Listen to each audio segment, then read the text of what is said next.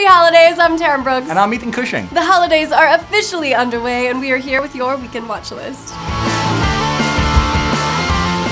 The fantasy musical Into the Woods is in theaters this week. Based on the Tony winning musical, it's a combination of multiple Grimm fairy tales, including Little Red Riding Hood, Jack and the Beanstalk, and Cinderella.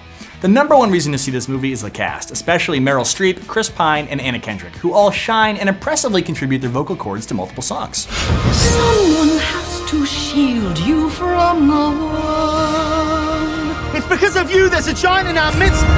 Apparently, significant plot changes were made to the script in order to make it more of a family film, which is great news for parents because it means you can take your kids, and with any luck, they'll love it. You can buy them the DVD, you'll never have to watch Frozen again. Haha, good luck with that. Elsa is here to stay. Let it go, let, it go, can't back Okay, sorry, we'll, we'll We'll cut that, that out later, yeah. Finally, Thursday night at 9:30, TV's Black Mirror will air its Christmas special, White Christmas.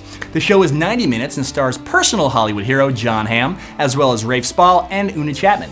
Black Mirror is a fascinating and eerie show about the future of life with technology. Confidence, just talk to her. Do you maybe want to go somewhere a bit more quiet? Stop or I'll block you. Just please stop. Can't see or speak to them. There's just the shadow. The show has gotten critical acclaim and is well worth a binge watch if you're looking for ways to fill the time between holiday meals. The first two seasons of the show are on Netflix. That's all for now. Happy holidays. Bye.